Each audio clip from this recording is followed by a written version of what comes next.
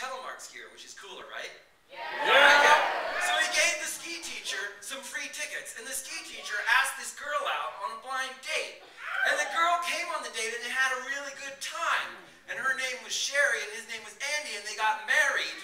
And now it's their anniversary. So that was 20 years ago? Yeah. Wow, that's like deja vu. Yeah, I feel like it just Oh, yeah. Where are you guys?